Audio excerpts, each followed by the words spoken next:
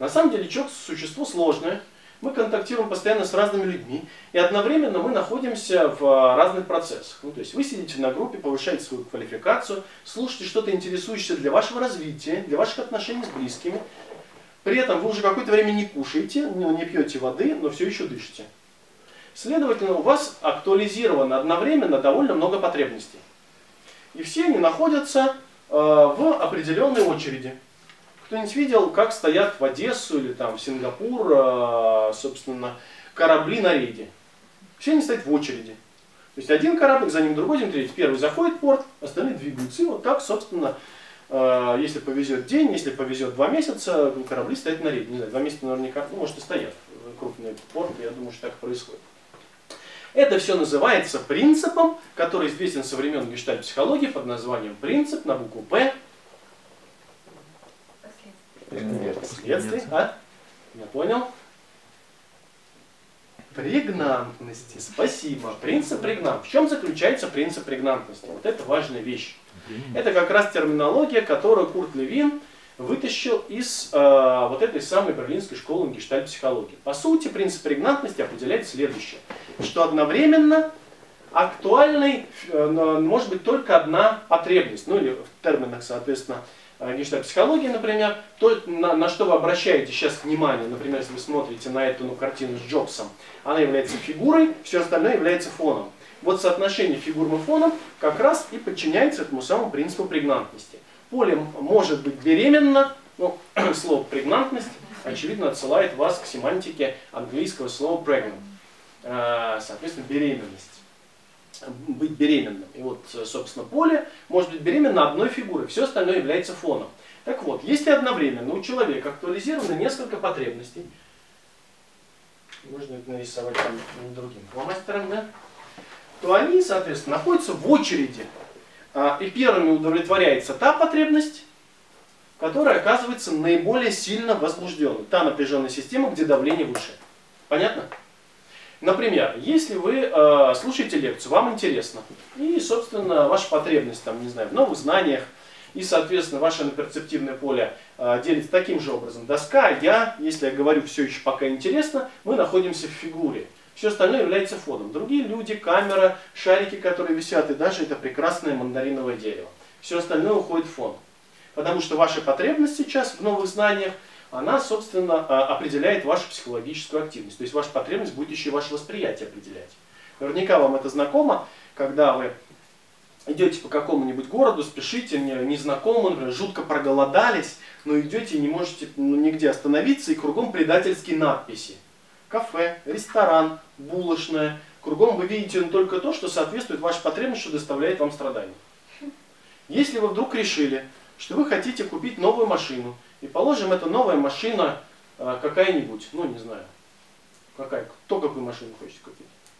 Infinity. Infinity. Какую Infinity? Большую. Большую Infinity. Красненькую.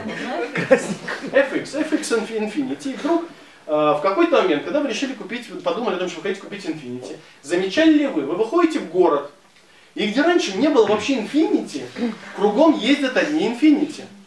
Замечали такое? Это довольно часто происходит. Ваше восприятие обусловлено потребностями. Это значит, с другой стороны, что ваша психическая активность сейчас работает на эту потребность. Внимание, хотите вы того или нет. Это происходит помимо вашего желания. Даже если вы решили, есть я не хочу, не хочу есть, не хочу, не хочу. А рука к холодильнику, так вы ничего не можете сделать, ее оттягивать, я не хочу есть, не хочу. Но она уже открывает холодильник, понимаете, да? Это важная вещь. То есть ваша, почему об этом мы говорим? Почему, например, там мы спрашиваем вас, ребята, а что вы хотите сейчас? Не потому, что мы с Геной идиот, но, по крайней мере, не только поэтому. И не столько поэтому мы апеллируем к тому, какие желания сейчас проявятся. Мы говорим, вы хотите, может быть, сейчас лекцию или сессию, или какое-то упражнение сделать. Почему это важно? Потому что ваша психическая активность будет реализовываться исключительно в рамках фигуры. Вот э, Курт Левин проецирует вот это понятие фигуры и фона на личность в целом. И в этом смысле вполне условно. Вот это сейчас мы примем условно, потому что фигура и фон это не только потребности. Фигура и фон это любые феномены. То есть в какой-то момент эта потребность оказывается фигурной, психическая деятельность происходит в рамках, собственно, э, этой потребности. Поэтому, если вы Хотите сейчас кушать, например, или все думают о сессии Аллы, а мы заставили вас слушать лекцию, то, скорее всего, к концу лекции вы не усвоите 15% материала, который был там. Почему? Потому что вы жили в другом месте. Знакомая, наверное, история. К примеру, там, не знаю, вы с кем-то поговорили, э, решили, что сегодня э, весь день вы проведете под пледом с чашечкой чая и будете читать книгу э, «Диалоговая модель гештальтерапии», понятное дело, или психотерапия, фокусированная на переживании, и психотерапия как путь формирования реальности, выбирайте из этих трех, понятное дело. Вот, открываете ее, и тут вам звонят. И звонит вам человек, значимый человек, вот, с которым у вас непростые отношения. И вы с ним начинаете выяснять отношения и ссоритесь, к примеру. Кладете трубку, и осадочек остается. Но вы же себе поклялись, что будете книгу читать. Правда, открываете книгу, читаете. Вот оттуда взялась э, старая детская поговорка, известная вам. Смотрите в книгу, а видите фигу. И вот тогда э, знакомо вам это ощущение, что вы читаете 2-3-5 страниц. Хотя что сейчас было? Вообще, ну хоть что-то, хоть, хоть строчку помните? Скорее всего нет. Почему? Вы живете сейчас в другом месте, на другом этаже, в другом отеле. Вы не здесь, понимаете, да? То же самое происходит и ВКонтакте. Замечали ли вы? Вот встречаетесь с другим человеком, а у вас ну, башка полна чего-то другого. И вы контактируете с этим человеком, и в общем, вы не живете здесь, вы отсутствуете. Или вам кто-то рассказывает, понимаете, что его здесь нет. Почему? Он в другом месте. Хорошая новость, человек всегда где-то есть. Поэтому если его нет здесь, он где-то в другом месте. В этом задача терапевта заключается. Например, когда терапевт ну, садится ну, ну, ну, напротив клиента, клиент ему что-то рассказывает, но в общем в этом нет жизни. Вот как Валик спрашивает, а что делать, если отклика нет? Это может быть потому, что клиент живет в другом месте. Просто он пришел на терапию, планировал утром сегодня рассказать о том, как его задолбала жена, и рассказывает, план просто такой реализует. Но он живет уже не там. Вот на вас, как, э, ну, как на терапевта, это тоже он, он э, накладывает сильный отпечаток. Если перед вами сидит клиент, а вы думаете о том, что надо бы вам постирать джинсы, вот, или надо вам еще заработать немножко денег, чтобы наконец съездить в отпуск э, с мужем или женой, в зависимости от вашего пола и сексуальных предпочтений. Вот, э, то, в общем, э, вы не будете в контакте с этим человеком. А именно за это вам платят деньги. Ну, помимо вашей квалификации, безусловно. Даже при самой высокой квалификации, если вы отсутствуете в контакте, вы не стоите ни копейки. Вот, поэтому очень важно, чтобы, собственно, ваша психическая, ваша активность происходила в зоне вот этой самой фигурной потребности. Поэтому уж лучше взять снова телефон, проговорить, э, позвонить снова Дмучок и продолжить разговор, либо хотя бы поговорить о накипевших чувствах с соседом или там, кто остался в этой квартире не ушел еще на работу, и после этого начать читать книгу. Понимаете, да? Вот отсюда это, собственно, такое бытовое выражение «завершить свой гештальт». Понятно? Вот, а дальше. Это важная вещь. То есть все эти потребности встают в очередь. И если вы слушаете лекцию, но я решил эту лекцию читать долго. Кстати, видео еще не остановилось. Ты я, знаешь? Я Отлично. А, а, если лекцию читаю долго, вот, а, и вам неловко уж сказать, Игорь, а не мог бы ты остановиться? Мы хотим кушать. То есть спустя какое-то время этот процесс все же произойдет. Вы будете думать больше о еде, но чем о лекции. Понимаете? Хотя, возможно, 20 минут назад потребность, соответственно, в новой информации была фигурной. И вы усваивали материал. Но в какой-то момент Собственно, когда эта потребность становится выше, давление в чем измеряется в физике? Паскале? Положим, собственно, давление, условно говоря, это метафора, это психика. Ну, здесь там, не знаю, там 20 э, килопаскаль давления, а здесь, соответственно, 10. Но с течением времени, лекция продолжается уже шестой час, вот здесь давление вырастает и становится 25 на килопаскаль. Что происходит с вами? Как только оно становится 21, или там 21 десятая. Сначала с перебоями вы волей себя заставляете вернуться в лекцию, а потом все больше начинаете думать о еде. В течение какого- какого-то момента я должен быть довольно наблюдательным, чтобы констатировать, что я вас потерял. Почему? Потому что вы находитесь в другом месте. Происходит, будет происходить это в разные, конечно же, очередности. Кто-то сломается раньше, кто-то позже, вот, кто-то, ну, в зависимости от соотношения этого давления. Понимаете, да? Вот, но если вдруг, к примеру, сюда, в это помещение, вдруг э, врываются какие-нибудь э, люди, не знаю, шумные голые, например, вот, то в какой-то момент, даже если вы очень хотели есть и уже не слушаете лекцию, в какой-то момент ваше внимание будет приковано к ним. Вот, и вы внимательно будете э, обращать внимание на то, что, что они здесь делают. Или просто зайдет какой-то шумный чок, охранник, и скажет, что же здесь сидите, суббота, у вашего ведущего день рождения, уходите отсюда. И на какое-то время вы забудете о том, что голодны. Или если, ну, например, а, собственно, будет продолжаться какое-то время еще лекция, вы будете голодны, но воздуха будет все меньше. Таня первая это почувствует, а вот, а потом остальные, у вас начнет кружиться голова, вы забудете о том, что хотите есть, а голые мужики здесь продолжают бегать, и даже на них вы уже не обращаете внимания. Понятно. Так устроен принцип прегнантности. Это понятно? То есть та а, потребность, которая сейчас является наиболее сильно возмущенной, будет определять вашу психическую активность. Хочу тут вас предупредить, что по ходу терапевтической сессии, когда вы будете работать с клиентами, эта динамика прегнантная может меняться много раз. И другими словами, будьте внимательны. То, что скажет вам клиент в первых там, словах и скажет, я хочу вот этого, вот этого, не значит, что через три минуты разговора э, фигура и фон местами не, не поменяются. Вообще вся ситуация радикально изменится. Вообще достаточно, чтобы в ситуации появилась какая-то, не знаю, новый элемент, который тут же ее трансформирует. Вот просто фраза, сказанная клиентом, не знаю, там, или там выражение его лица, или там, не знаю, увлажнение глаз, может изменить все, на, на весь ход сессии. Понимаете? Потому что это станет фигурой, все остальное станет фоном. Вся ситуация изменится. Пока про потребности двинемся дальше. Понятно, как это происходит?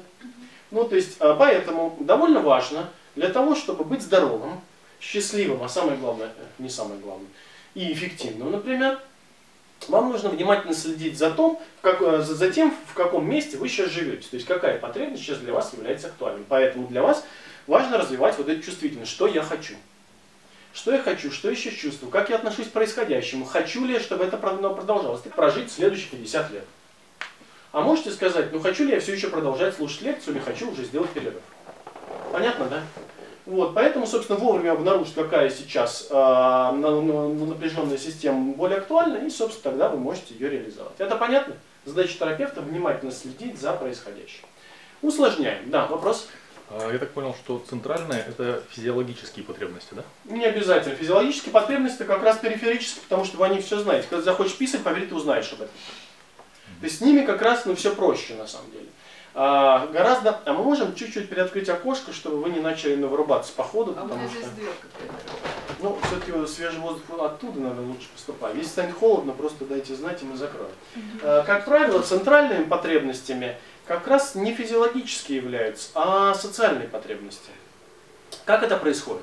Сейчас мы начинаем говорить о центральных личностях. Пока все просто.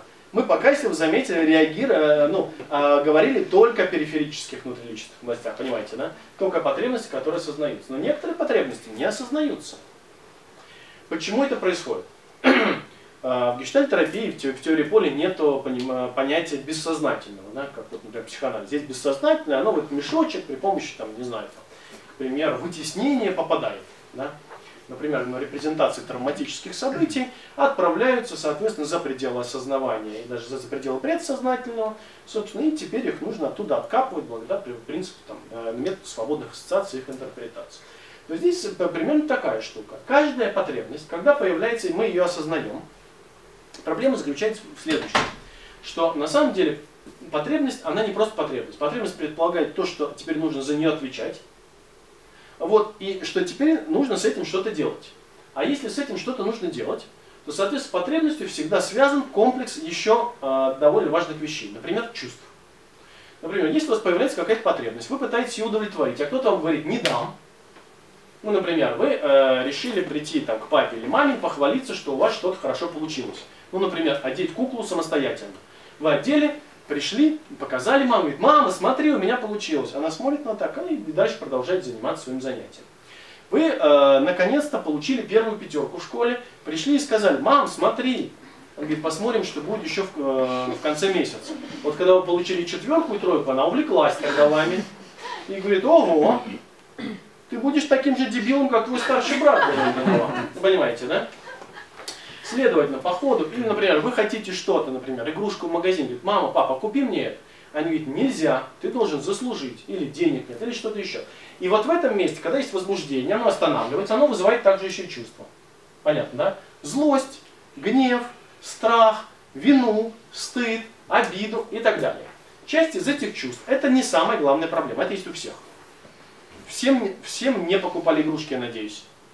Потому что если вам всем все покупали, боюсь, что беда была бы хуже с вами, чем если бы вам какие-то ограничения ставили. Ограничения важны. Если не будет ограничений, психика не появится. Психика появилась в момент фрустрации. чувства не могут появиться без фрустрации, мысль не может появиться без фрустрации. Если обезьяна все время будет доставать э, лапой банан, ей не придет в голову, помните, как в том эксперименте, взять палку. Понимаете, да? Мысль не появится. Из обезьяны не появится человек и все здесь присутствующие. Вот, э, понятно, да? То есть, если вам все, соответственно, ну, ваш потребность удовлетворяется немедленно сразу, то вы будете э, похожи на людей, как в том анекдоте про немого мальчика. Все помните этот анекдот? Жил был немой мальчик, все в семье было хорошо, но вот э, единственная трагедия семьи, мальчик немой. Вот, и вся семья, соответственно, от этого страдает. К врачам его водили разным, на психотерапию водили, только не гештальтерапевтом и точно не делал-филологическим терапевтом. Вот, э, пытались с ним что-то делать. Током били, иглу калу измались. Ну, все, мальчик не мой, все смирились. И вот, значит, очередной раз э, садится вся семья за обед, всем на, накладывают еду, наливают супчик, это первое. Вот, э, тут, соответственно, мальчику ставит, он начинает есть, смотрит маму, говорит, мам, так, так не до соли наша. Все в слезы. Говорит, наконец-то заговорил Васенька, да что ж такое, да какое-то счастье. Бабушка становится на колени, молится Господу, говорит, благодарю тебя, Господи. Все счастливы, один ребенок сидит говорит, что вы радуетесь? Он говорит, ну ты же заговорил, я всегда умел говорить. А что ж ты раньше молчал? Так всегда же досолено было. Если ваши потребности удовлетворяются немедленно, место для психики невозможно ни для одного психического познавательного процесса. В данном случае речь была описана. Но вообще-то то же самое касается мышления и всего остального. Эмоций. Понятно, да? Вот. А, такая важная вещь. Так вот, попутно с этой потребностью появляются эмоции, вот такие чувства. И тут возникает проблема. Можете ли вы с этим распоряжаться? В самих ограничениях нет ничего плохого. Но а, те реакции, которые а, вызывают эти ограничения, дальше стоит вопрос, как с этим вы обращаетесь в этом контакте. И дальше появляется следующее. То есть, если вы говорите там, соответственно, своей злости, например, ну, ну, ну, родителям, они способны с вами договориться, говорят, да, я слышу, ты злишься, давай договоримся, в следующий раз так-то. Вы приняты своей злости, вы можете ее переживать в контакте с родителями. Вы, например, соответственно, чувствуете какую-то вину, например, за разбитую чашку. Приходит мама и говорит, что с тобой есть? Мне так стыдно, стыдно, или вы говорите, ну, это не обязательно дифференцировать э, в возрасте э, маленьком стыд и вину, например, а то, что разбил чашку, мама говорит, да ничего страшного, купим новую, будь осторожнее в следующий раз. Вот, э, если, например, вашему братику покупать что-то, что не покупает вам, и вы чувствуете ревность, зависть, а вот, и, соответственно, мама говорит, ты что, тоже такое хочешь? Да. А давай пойдем в магазин и посмотрим, ну что бы ты мог купить, э, ну что бы могли тебе купить, можете что-то другое. В любом случае, все равно. Важно, что вы с этими реакциями приняты. И вот, э, в зависимости от степени этого принятия с реакциями, ваше осознавание потребности может быть более или менее дешевым или дорогим. Вы приходите в магазин и видите, продаются, например, какие-нибудь кроссовки, лакоста. И они стоят, например, 50 долларов. Нормальная цена? Купите? Нет. Да нормальная цена для лакоста. Они могут 100 евро стоить, 102. А приходите, они стоят 1000. Что сделаете? Вряд ли купите. Если они обычные, из casual э, коллекции, ну, ну вряд ли вы купите, правда? Вот, э, так вот, примерно происходит и здесь. Если все время сталкиваться с обидой, а, и в ответ на вашу обиду получаете агрессию родителей, и вы испытываете страх и не хотите с этим, то есть это дорого. Поэтому в какой-то момент вы предпочитаете не чувствовать эту потребность.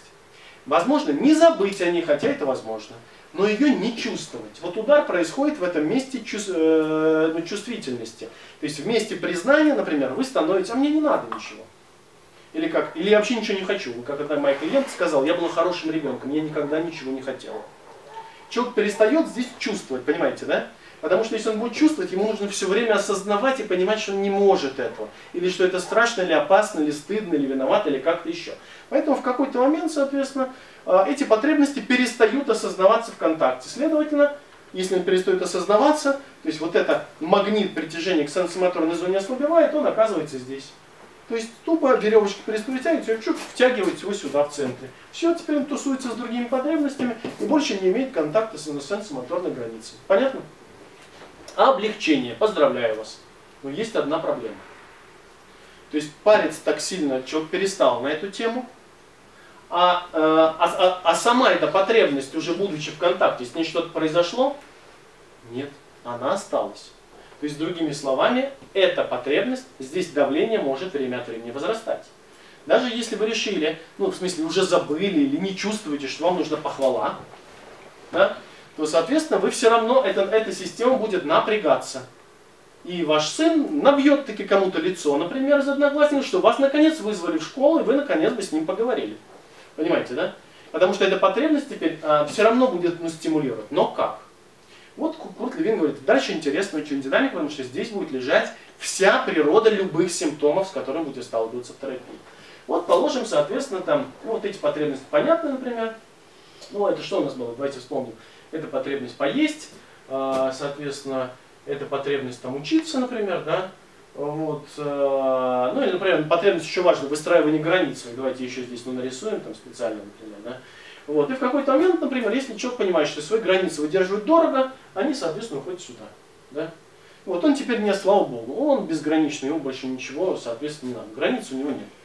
Что дальше, соответственно, возникает? Но система становится напряженной, давление возрастает, и оно даже выигрывает конкуренцию по килопаскалям нашим, но, метафорическим, у, у здесь возникающих потребностей. Он не так хочет есть, не так хочет, что это было?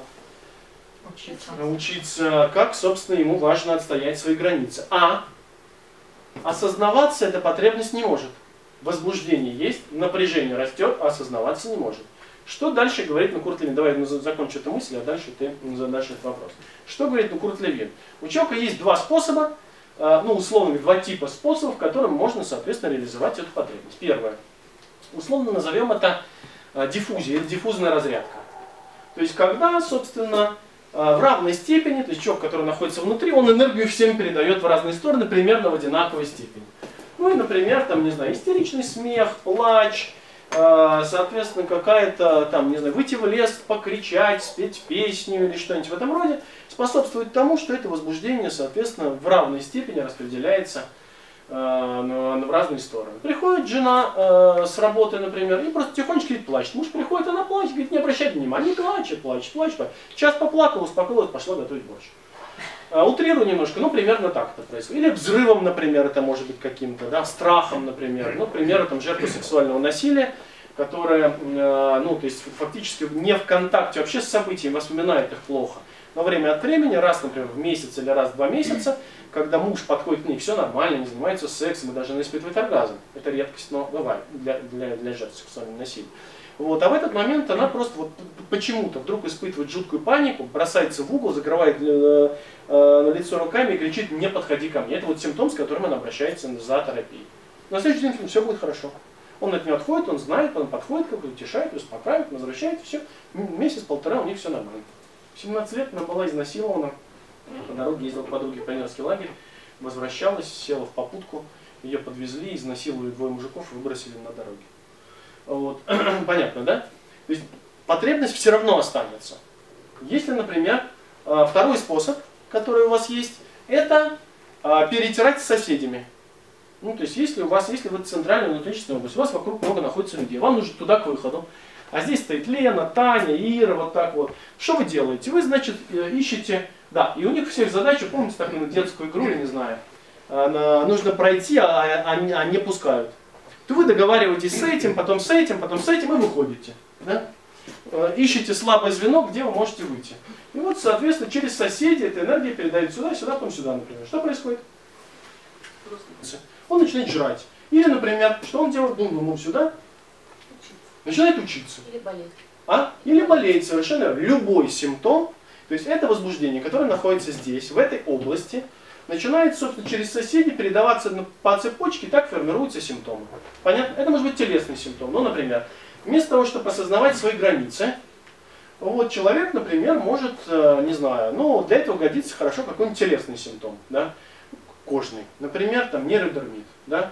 И, например, на уровне, соответственно, контакта осознается этот некий симптомчик. И граница вокруг человека выстраивается. Понятно, да? Но до ее осознавания, понимаете, да? Астма очень хорошо подходит. Ну, например, если человек там, а, не может говорить о своих границах, соответственно, о своем недовольстве тем, той ситуации, которая есть в семье, например, как правило, это характерно для детей. Астма начинается в детском возрасте, это не обязательно так, но довольно часто. Кстати, это тот тип астмы, который бесследно проходит 18 лет, когда ребенок поступает в другой вуз, в другой город уезжает. Вот, э, и, собственно, ну как только на ребенок начинает задыхаться, папа, мама, все вот так. Все как шелковый, власть ему возвращается, понимаете, да? Это единственный способ, по которому он может обойтись с этой потребностью в границах, например. Понимаете, да? Это может быть любой симптом. Болезнь, перелом, что-нибудь еще.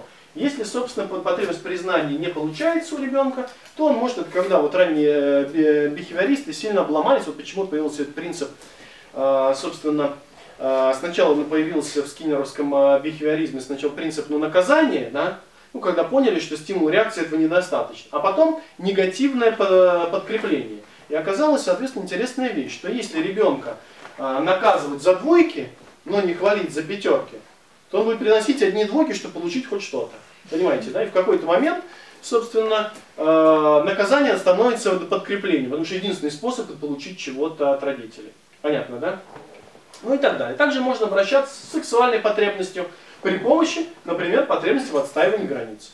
Как только появляется сексуальное возбуждение, устраивайте смело скандал, вот, э, со своим мужем, и, собственно, секса не будет. И вы будете чувствовать, что вам уже хорошо, вы разрядились. Потому что потребность, через которую вы говорите в отстаивании границ, она даст возможность сбросить это напряжение. Внимание, любой симптом является способом реализовать потребность. По сути, симптом это способ организовать контакт с другими людьми по поводу той потребности, которая сейчас является фигурной.